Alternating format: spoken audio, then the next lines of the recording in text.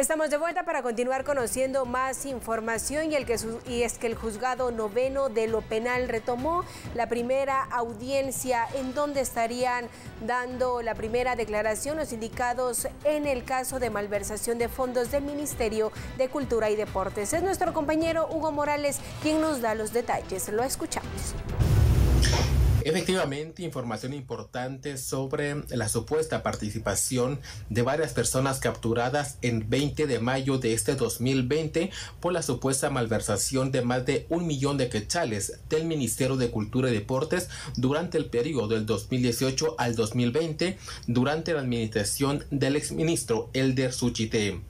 La pesquisa preliminar arrojó que fueron tres eventos penales sospechosos. En el primero, la malversación de 95 mil quetzales en la contratación irregular de una persona.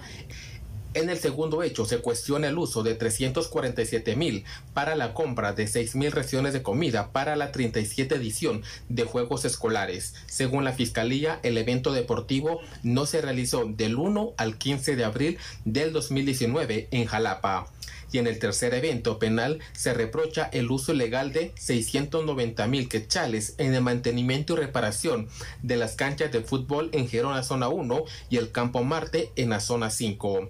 La diligencia debido a la pandemia COVID-19 se realiza por enlace de videoconferencia para 13 personas privadas de su libertad y cinco personas más que fueron citadas por el juez noveno de instancia penal para poder resolver en esta primera declaración si quedar sujetos a una investigación penal y posiblemente en prisión preventiva o bien se decreta una falta de mérito a su favor al considerarse que las evidencias son insuficientes para demostrar que hayan participado en la malversación de este eh, más de un millón de quetzales como lo ha indicado el Ministerio Público.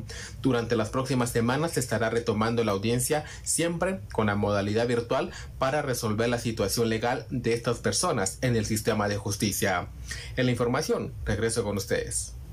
Hugo, gracias por la información que nos actualizas a esta hora. Definitivamente estaremos pendientes del desarrollo de este caso.